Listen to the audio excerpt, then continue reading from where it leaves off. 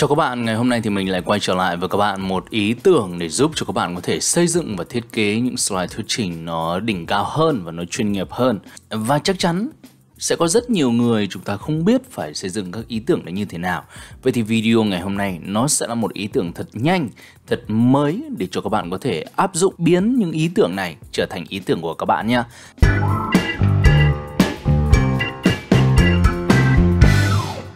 Nào bây giờ chúng ta sẽ đến với cách làm ngay bây giờ. Ở trong này thì khi mà các bạn đang xem ở trên màn hình thì Dương đang có chỉ cho các bạn thì chúng ta cần phải tạo ra một nội dung. Và trong cái nội dung này thì có thể các bạn bấm vào phần uh, shape rồi sau đó chúng ta sẽ chọn một cái text box. Thì tất nhiên chúng ta luôn luôn bắt đầu với một trang trống và khi mà các bạn tạo ra một nội dung như thế này ở đây thì thì Dương cũng sẽ luôn luôn làm rất là chậm để cho những người mới hoặc là những người mới bắt đầu tìm hiểu, chúng ta có thể hiểu từng bước từng bước một và các thao tác để chúng ta có thể thực hiện nhá.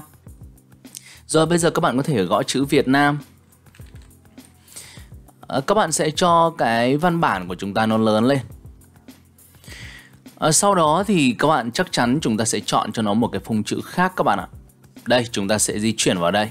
Rồi việc của các bạn là chúng ta bấm vào phần phông chữ để lựa chọn cho nó một cái phông chữ nó cứng cáp hơn, nó khỏe hơn.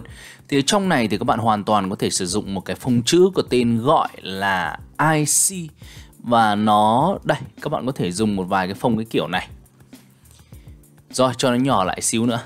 Đấy, căn chỉnh ở giữa nha. Đấy, sau khi mà các bạn đã làm được rồi Đấy, sau khi chúng ta đã làm hoàn thiện rồi thì bây giờ các bạn sẽ đến một cái phần việc tiếp theo là chúng ta sẽ sử dụng một cái bức ảnh.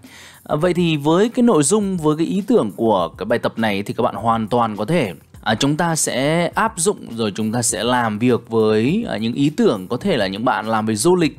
Các bạn có thể làm về giới thiệu một cái bức ảnh nào đó hoặc là chúng ta sẽ giới thiệu một cái phong cảnh một cái không gian một cái đất nước là con người ở một địa danh nào đấy. Để thì tùy vào các bạn để chúng ta có thể làm cho nó phù hợp. Rồi bây giờ chúng ta sẽ đây tôi sẽ bấm vào phần new slide để các bạn sẽ đưa vào đây một bức ảnh đấy nha. Chúng ta sẽ bấm vào phần insert. Rồi picture và bức ảnh này các bạn hoàn toàn có thể tải trên Google và rất nhiều các nền tảng khác nhau. Rồi các bạn cũng có thể sử dụng các bức ảnh thực tế mà chính các bạn đã lựa chọn cho nó. Rồi sau khi mà chúng ta đã có một bức ảnh như thế này rồi thì bây giờ sẽ là một cái phần việc nữa mà các bạn cần phải thực thi. Đấy là chúng ta làm sao để cái nội dung với cái bức ảnh của chúng ta nó được đồng điệu và nó được phù hợp với nhau.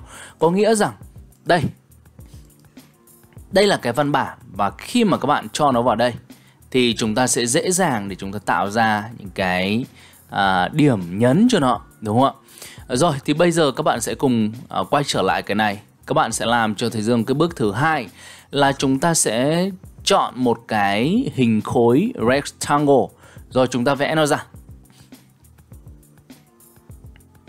Đấy các bạn vẽ ra rồi bây giờ các bạn hoàn toàn có thể là chúng ta tạo cho nó một cái nền màu đen chẳng hạn nhá, Để hoặc là cái nền màu trắng đi.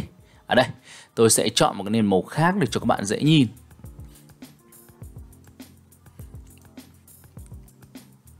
Ờ, lúc này các bạn cần phải làm một việc là chúng ta sẽ đục thủng cái nền màu vàng này đi. Các bạn nhá, các bạn sẽ đục thủng cái nền màu vàng cho tôi. Để lát nữa chúng ta sẽ thấy cái điều hay của nó ở trong này. Vậy thì đục thủng các bạn sẽ bấm vào nền màu vàng. Sau đó chúng ta giữ phím Shift và chọn chữ Việt Nam. Tiếp theo các bạn sẽ bấm vào phần Merge Shape để chúng ta sẽ chọn cái phần Sharp Chart Thì nó sẽ đục thủng cái hình khối của chúng ta đi. Vậy thì tùy vào từng nội dung, từng chủ đề để cho các bạn có thể lựa chọn cái này cho nó phù hợp. Được chưa? Ấy, vậy thì sau khi mà các bạn đã làm xong cái thao tác này rồi thì bây giờ sẽ đến một cái bước nó cũng rất quan trọng để cho các bạn có thể làm tốt được cái chỗ này. Rồi, bây giờ chúng ta sẽ làm một phần việc nó rất là quan trọng Đấy là các bạn phải rất tập trung vào cái chỗ này nha Sẽ có rất nhiều bạn chúng ta sẽ bị nhầm và chúng ta sẽ bị quên Đấy là các bạn sẽ copy bức ảnh này đây, Ctrl C để chúng ta sẽ dán Ctrl V cho bức ảnh này. Sau đó các bạn sẽ đưa bức ảnh này lại phía sau. Bấm chuột phải chọn Center Back để nó nằm ở phía sau. Rồi, tiếp theo, bây giờ các bạn sẽ copy tiếp cái nền này cho mình Đây các bạn sẽ cần Ctrl C và sau đó chúng ta sẽ cần Ctrl V. Đấy, tức là ở hai cái slide này nó đều phải chứa cả nội dung và hình ảnh.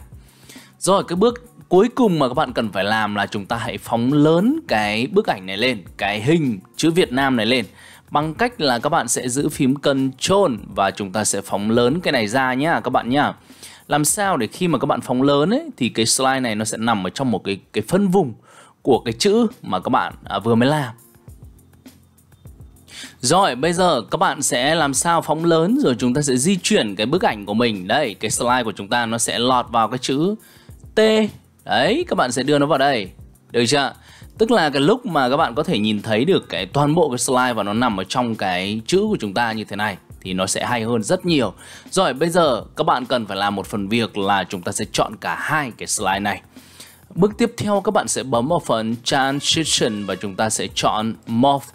Đấy như vậy thì nó sẽ làm cho cái nội dung của chúng ta ấy nó sẽ có cái tính uh, hiệu quả hơn rất là nhiều.